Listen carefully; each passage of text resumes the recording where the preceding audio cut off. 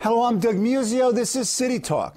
As in previous elections, Latinos in 2008 were the focus of media and party attention. The Hispanic vote was variously characterized as a sleeping giant, potent and pivotal. Latinos were said to be swing voters. Would such high hopes be dashed on election day as they had in the past?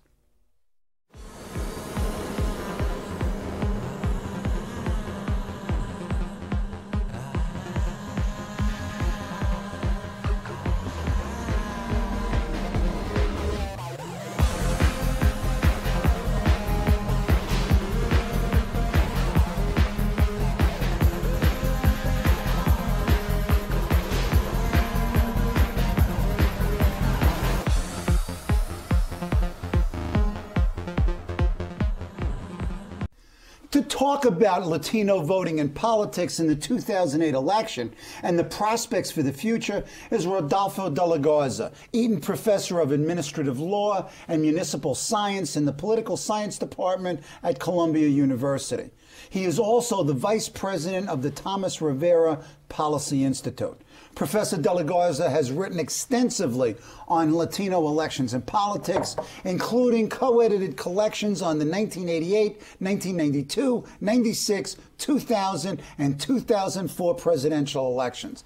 His latest book, entitled Beyond the Barrio, is a study of the 2004 election and will be published by the University of Notre Dame Press in 2009. And I am honored to have a chapter in this book. Welcome, Rodolfo. Thank you very much. What is the big story with Latinos in 2008? What's the headline?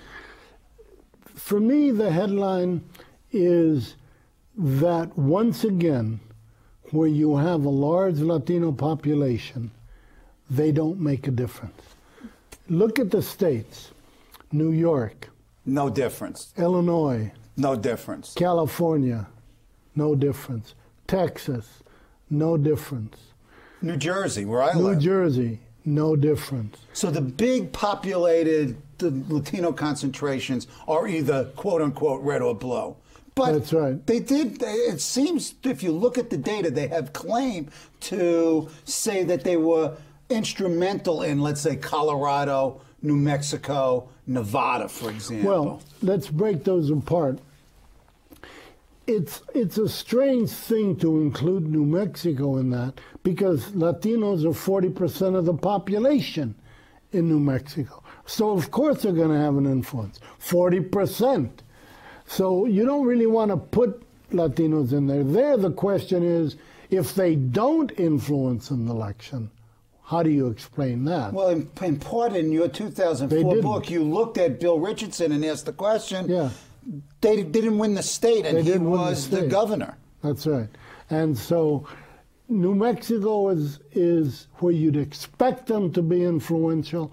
This time they were, but that's because whites divided sufficiently to carry the state. So you're saying that in order to have an influence, the white vote has to be split, and when the white vote's split, you've got a battleground state, and therefore Latinos have an influence. And what what happens then, though, is that states where you wouldn't expect it can become important. Indiana, apparently, now of all the states where you wouldn't think Latinos No. to have a role, Indiana, right. they appeared to have swung the election to the Democrats, and that's because whites were completely divided. Latinos voted two or three to one Democrat. So it didn't matter if they were a large percentage Right. of the population, but they could be critical in a tight election. What other states are sort of out there that one wouldn't think that they would have an influence? Where they had an influence? Yeah, None. that's none. What about talk a bit about Florida? Florida, is really maybe the most interesting state because it does suggest a sea change. Until this election, the older generation of Cubans dominated the Latino vote in, in Florida. That older generation is literally dying off and being replaced by a third generation. The third generation has a very different view. They are, um, what is the word? Cuban upwardly mobile cuppies or, oh, okay. or yuppie, uh, yuki. Anyway, some cute little play on. Which on, doesn't make sense because right. you couldn't remember it, but That's right. Uh, so that the third generation is voting Democratic, far unlike their grandparents uh-huh. and parents. Uh-huh. And a lot of new non Cubans are voting Puerto Ricans, South Americans, Central America. So the demography has changed, whether it's right. you know ancestry or generation. That's is right. this is this generational change occurring across the Latino communities across the United States, where the third well, generation or subsequent generations are more democratic than their no, predecessors? No, maybe in fact it goes the other way. Most places, Mexicans were more democratic in the past hmm. than they are now at least by nominal identification. Uh, Puerto Ricans have always been Democrats. So in Florida, they've become Democrats. Okay. They, they were originally Democrats, became Republicans, and now are going back to being Democrats. But if you add up the electoral votes of the states that uh, Latinos could at least statistically be said to have had a substantial influence. You've got 19 in the three western states plus Florida. That's a fairly substantial block. Now, it doesn't change the outcome of the election, even if you gave them all to McCain. What what are you seeing on the ground in Latino politics? Well, no. See, in some states, if you gave their vote to McCain, McCain would have won. Oh no, no. I mean, if, yeah. if you took away them right. just in those states, oh yeah, right. clearly. No. Um, well, what's what's interesting is that in Nevada you had high mobilization, but Latinos weren't able to throw it over the top. Colorado was a highly divided state, and Latinos, uh, McCain would have won without Latinos uh, New Mexico, right. and Florida. There's other states that he won with Latinos as part of the winning coalition, California, right, New uh, York, New, New York. Jersey. So they were they can claim to be part of the coalition, part of the mandate, if you will. Okay, yeah, because in a sense, the fact that there wasn't a competitive election in California or New York or New Jersey on the Democratic side freed up resources that could be put into places like Colorado, Florida, That's New right. Mexico, and even Indiana, for that matter. So in that sense, Latinos were important because they helped solidify Democratic states. Without them there, the Democrats would have had a bigger fight, but they weren't the determining factor. Okay, let's let's take a step back. I mean, we talk about the Hispanic or the Latino vote. Is there such a thing, or are Latinos by age, as we discussed in geography and socioeconomics? Are we talking about different constituencies that appeal, that that react to different issues and environments? Well, they're, they're, to some degree, yeah. My own thinking now is that there isn't a Latino vote as an ethnic vote, but rather Latinos come together as a class vote. When you look at the appeals that were made to Latinos, they are made around the economy, they were made around health care. Two key issues that Two have been on issues. at the top of public opinion That's polling right. in New York and nationally. But you didn't use immigration. Third, nobody talked about No, it. that's right. Wait, nobody talked about it in the debates. That's right. Nobody talked about it in the convention. It was like the third rail. It was going to be the big issue, and nobody talked Well, about it. you couldn't talk about it because nobody could win with it. If the Democrats talked about it, they would be accused of not caring about the border and pandering. If the Republicans talked about it, they would be accused of uh, cheapening citizenship and not caring about security. So McCain, who originally was pretty good on it, and Obama and McCain were together on it Mm-hmm. originally, both, you, you almost got a sense of, I'll make a deal with you. You don't talk about it, I don't talk about it, because none of us can win on it. In you in the, the, the new book on the on the 2004 election, you talk about in the introductory chapter about the possibility of new foundations that the Republicans had an opportunity, and McCain clearly was one of those folks that you pointed out who could take advantage of it. The immigration debate just totally turned that away from the Republicans. Well, a number of things turned it away from the Republicans. First of all you didn't have a candidate from a populous Latino state who responded. Now, they in Texas liked George Bush. Right. And so he got 40% of their vote, which is maybe a little more in Texas, which is pretty good. Absolutely. Uh, but he didn't get a majority. He didn't get a majority of any this of any group except the born again Christians okay. among Latinos, and there aren't many of right. those. So uh, the foundation was there if they found a candidate who would reach out to Latinos. Right. The problem is they had no such candidate, and they have no such candidate. There's nobody in the Republican side of the fence that appeals, knows about, works with Latinos. So you're saying except looking... Jeb uh, in Florida. So you're saying, well, that's an interesting exception. You're saying, looking forward, you can see within the Republican Party an individual, certainly not a movement, that would appeal to and be able to mobilize Latinos? No, I think they are divided on a cultural and economic crossroads. The cultural types don't want Latinos. Why? Because they see them as un-American.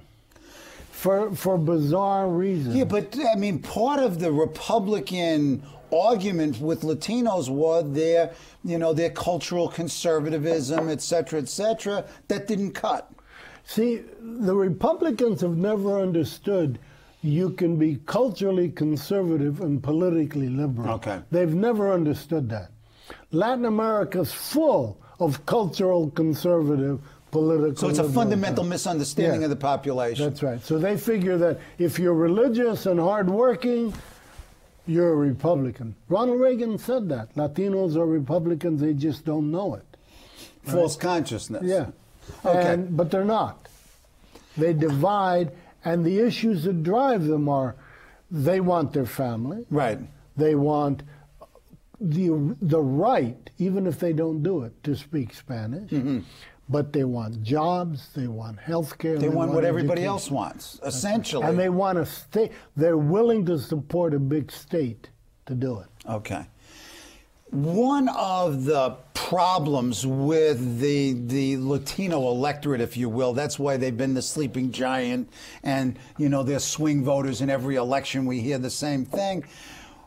Does does this election point to greater participation rates by Latinos? Did more Latinos vote in this election than in past elections? They went up marginally as a percentage of the national vote? Yeah, they went up marginally. But it, within certain states, I mean, you see variety across states. Right. What are we seeing? It's the picture is that we're not sure yet. Okay. Uh, but what I don't think you saw was a, a mobilization for Obama like the black mobilization by any means. I mean, blacks turned out at huge numbers and voted 95%. Sure. Latinos didn't mobilize in that way. Now they didn't mobilize, or they weren't mobilized, and what would take? What would it take to mobilize them, if not this election? I don't know. You're supposed to know. You're the professor. You're supposed to have we, the answers. Latinos don't get mobilized. Why? I, you know, that's a real puzzle. Partly because they're younger. Partly because so many are children of immigrants and haven't been socialized into the American. So you need that third. You took, you're talking that third generation is the breakthrough generation. Maybe like it may, was with Italians, for maybe, example. Maybe that's what you're talking. What about leadership? Is that another missing factor, or is that there, overrated as a factor? No, I think uh, there is no national Latino leader. There are leaders of organizations who would like to be seen as national Latino leaders, but they're not recognized on the street. Uh, I can't, you know, Bill Richardson, Latinos don't know who he is. Right, and he couldn't Uh, in New Hampshire in 2004. You know, New Mexico. I mean, New, New, yeah, New Hampshire, right? Yeah. New Mexico. Um, you have congressmen who are important, Javier uh, Becerra in California. Right. You have uh, Villaraigosa. The Puerto Ricans don't know who Villaraigosa is. The Cubans don't want to know who Villaraigosa is. Uh, so it's really a divided community. I mean, for example, I mean, even even the holiday of Cinco de Mayo is so limited and, and in, in many ways artificial. Is it is it due to the fact that you've got so many different nationalities and historical cultures here? Well, that's that's a big part of it. Latinos, remember, are an American construction. There are no Latinos in Latin America. Well, my friend uh, Luis Miranda used to be president of the Hispanic Federation. Said he didn't know that he was a Latino until he saw it on the cover of Time magazine that's in right. 1980. Yeah. So So it's a construct. it absolutely is. Is, is it useful at all then to talk Yeah. about Hispanics and Latinos in this general there- sense? there is a commonality, but how strong that commonality is, we don't know. The commonality is around language. The power of language is very important to Latinos, both primarily symbolically. Also, language has been used to punish Latinos rather than color language. New in, in, in New York, Puerto Ricans were persecuted because of language. They couldn't vote because of language. okay. In the Southwest, you were put in bad schools because they said you're not smart because you can't take a test in English. And it doesn't matter that you don't speak Spanish. We're going to tell you you're not smart because we're not going to let you take the test in English. Okay.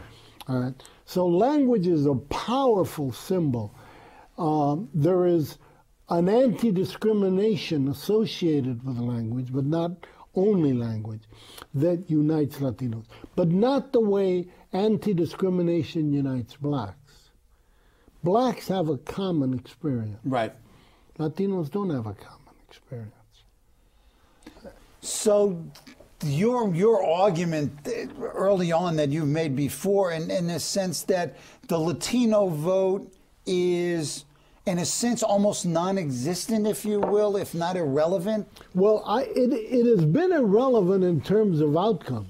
There's no doubt about that. This is the first time since 1960 when clearly Latinos have influenced state level results Wow. in presidential This is the first time. since 1960. Do you uh, project forward, if, if, if you can? I mean, we don't even have the data for this election. Project forward. What do you see as the, if you will, the evolution of Latino political power? I guess in an empirical sense, and also normatively, how should it play out? Well, empirically, Latinos will become more important just because they're growing in number, but it's not clear that they're going to vote as Latinos, as ethnics. I, as I think I said earlier, um, it's a class vote. It makes more sense to think of them as a class. And in, and in fact, then that, that would tend to, you would think that that would tend to advantage the Democratic Party in their relationship with. That's right. So is there is there a, a, a Republican strategy that has the opportunity to prevent Latinos from becoming like blacks, almost monolithically Democratic? Ye- um, I don't know because see, if Latinos vote on class lines, that's not a Republican appeal. right. So they're not going to get them there. They don't want to support language because only you ha- you know English is the, the American language. Right. So you lose them on both sides. The only chance you've got is to make all Latinos rich. And, and I don't know make very- everybody rich. Forget right. about white, forget about Latinos. Make So white I- people I don't think that's going to happen. bought. There are, if you look at the Republican Party, there are no second or third level Latino Republican leaders. Are there any first? Who's in the first level? George Bush or, or Jeb Bush's son. That's it? I, What far as I about uh, uh, Martinez in Florida? Now marginal? he's, he's in Florida. So that that's it. Yeah. I mean, I don't know. You know, the, the the Chamber of Commerce types are not connected to the base. Yeah, there seems to be a real disconnect between the various sectors of really Latino society in a way that you don't see why in other groups. Why? What is well, it? the disconnect with blacks is that blacks have been deeply and uh, and viciously discriminated. Latinos do and don't, yes and no. Remember, half of Latinos weren't born here. Right. So they come in. It's very hard for them to say, think of what you did to us in Texas in 50, 1940. You weren't here. Right. How the hell do I think about this, Right. right? So, So that the common experience of oppression doesn't does, doesn't know- work. So you have to wrap yourself in it. You have to say, we Latinos. And maybe it buys and maybe it doesn't buy. You don't seem very optimistic. So, okay, what's the future? You're going to write a new book on the 2008 election. You don't have all the data in. You know, you sort of got the big story. What are you know? What are the what are the chapter headings? What does the One of them introduction look is, like? Is did Latinos mobilize for Obama? Latinos, And the answer is, you suggest no. at this point, it's not obvious. Okay. They voted two to one Obama. They should have voted three to one Obama. What did you mean they should have? voted? Just simply based on party. What was it then? Was it what uh, Hillary Clinton's pollster early on and got hammered for it? Uh, Bendixen said about the hesitancy of Latinos voting for a black candidate. Let me let me begin by saying I thought Sergio Bendixen's comment was irresponsible and crass. He did it to fuel his candidate's Hillary Clinton, right. candidacy, and it was it was wrong. Latinos vote for two to one is a pretty good vote, But it wasn't three to one. but it wasn't three to one. So why is that? I don't know. a lot of different factors Lot of- possible. lot of factors. But you you don't see this this hesitancy on the part of Latino voters to vote for black candidates at, the presidential or other Well, levels? um, Simply on the basis of race. two to one is a vote for. Okay. Okay. There's not a great mobilization. There's a difference between supporting and mobilizing. Now, did the Obama campaign make an attempt to mobilize those voters for their own At, ends? at one, they tried, but see, the, the dilemma early on was that he had no connection to those people. Hillary did, right. A long history. a long history. And so once he gets the nomination, the, all the Latino leaders come in behind, but they'd already told their people to vote for Hillary. right. So you've got you've got a deficit to Right. make up. Right. And, and, and they went two to one for Obama. The early speculation was that the Latinos might stay home or vote Republican, Right. who- those who supported Hillary. But was that likely given No, their issue no. stance? That was that was, as I said, silly and crass. Latinos had voted uh, for blacks a variety of places. Denver, they voted for the mayor of Denver. They voted in, in uh, for the mayor of Dallas. They voted for Dave Dinkins in Yeah. New York.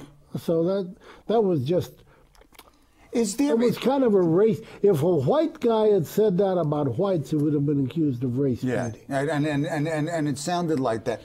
What, but it, what is the, it, does this coalition in black and brown, this black Hispanic coalition, does it exist, or No. did it ever exist? No, they, these are groups that compete.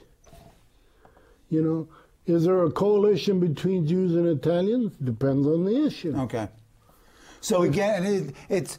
It, again, it, you're, you're asking us to be sensitive to the lack of, you know, monolithicness, if you will, in terms Yeah. of Latinos' attitudes. Why should there be one right. group? Okay. Latino leaders of the future? I mean, I mean, is that, I mean, There are some uh, congressmen that have potential, but they're going to be a new kind of leader. Ken Salazar, in Colorado, Senator from I Colorado. think, uh, is re- reflective of the new type. What about Bob Menendez in New Jersey, my senator? Um, More old school, Paul. yeah, and and um, he's kind of conservative on a lot of issues. Ken is very ethnic without talking it. Ken is ethnic.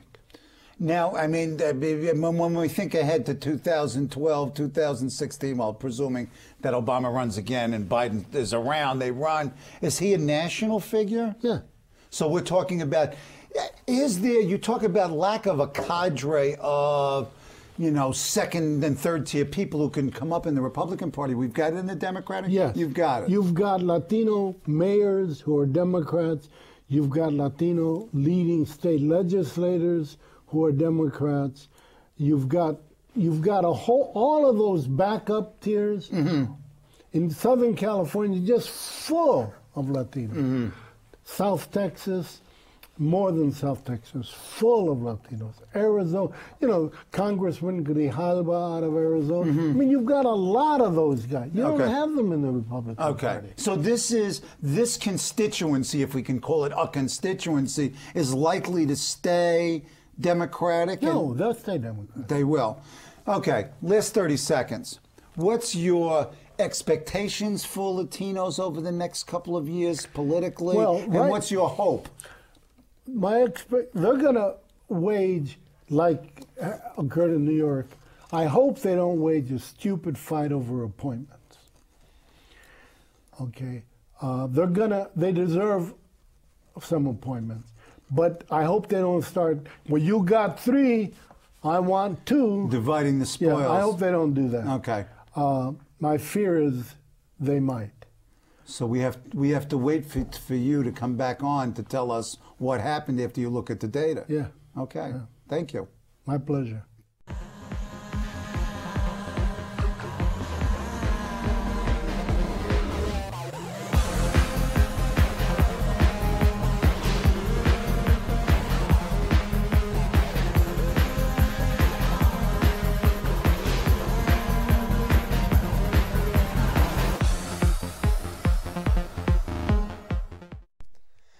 Doug Muzzio. Let us know what you think about this show. You can reach us at cuny.tv. When you get there, click on the bar that says Contact Us and send your email. Whatever it is. Thanks, no thanks, obnoxious, do it. Send it.